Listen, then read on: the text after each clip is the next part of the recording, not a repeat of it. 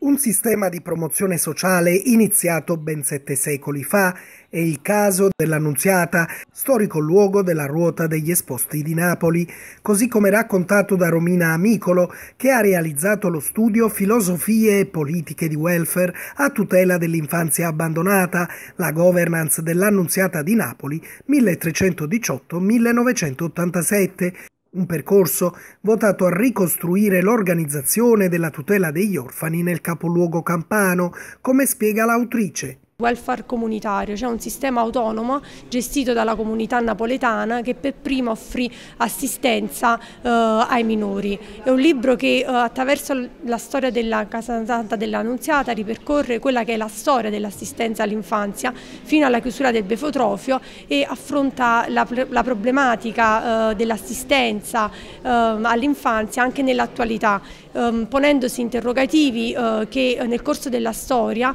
hanno avuto risposte proposte politiche e giuridiche eh, differenti. La presentazione è stata l'occasione per visitare Storie di bambini, mostra di Letizia Galli all'interno della Real Casa, Circa la tutela della situazione di chi è orfano è intervenuta Anna Arecchia, presidente del Comitato Nazionale per il diritto alle origini biologiche. Siamo qui perché il libro eh, si conclude con una pagina bellissima eh, dando voce al, a, ai bambini che, sono, eh, che, hanno vissuto una parte della loro vita qui nel Brefotrofio dell'Annunziata di Napoli e, e dare voce a questi bambini significa riconoscere loro il diritto alla alla conoscenza delle proprie origini biologiche.